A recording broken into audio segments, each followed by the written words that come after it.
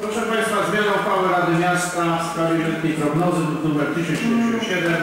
Termin poprawek, autopoprawek 18.58-19. Żadnych poprawek nie było. Głosujemy. Najpierw wniosek o odstąpienie od drugiego czytania. Głos za głos przeciw temu wnioskowi.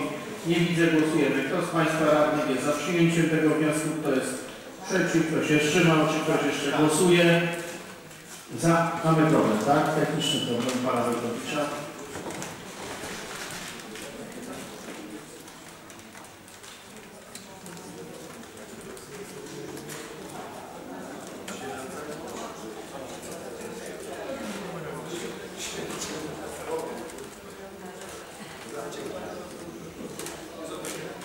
Okej, tak? Kto jest za, kto jest przeciw, kto się wstrzymał, czy ktoś jeszcze głosuje? Zamykamy, proszę wynik.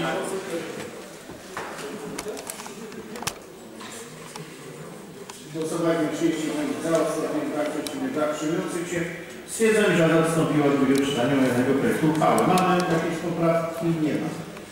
W takim układzie głosujemy w wersji pierwotnej. Kto z Państwa radnych jest za przyjęciem tej uchwały? Kto jest przeciw? Kto się wstrzymał? Czy ktoś jeszcze głosuje? Zamykamy. Proszę wynik. 28 za, brak przeciwnych, brak przyjmujących się. Stwierdzam, że Rada przyjęła uchwałę.